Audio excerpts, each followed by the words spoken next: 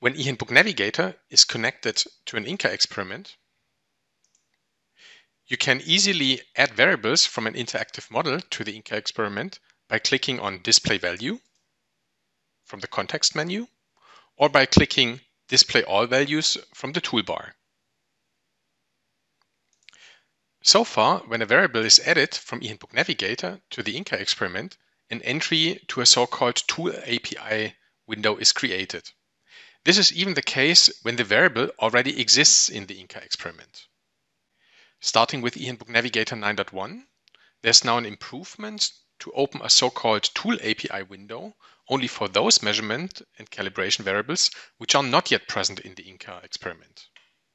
For example, when you right-click on a label which is also already present in the Inca experiment, a value is prepared for being displayed but no instrument is being added to the Inca experiment. If you select a calibration which is not yet part of your Inca experiment, this will simply be added as a so-called Tool API window.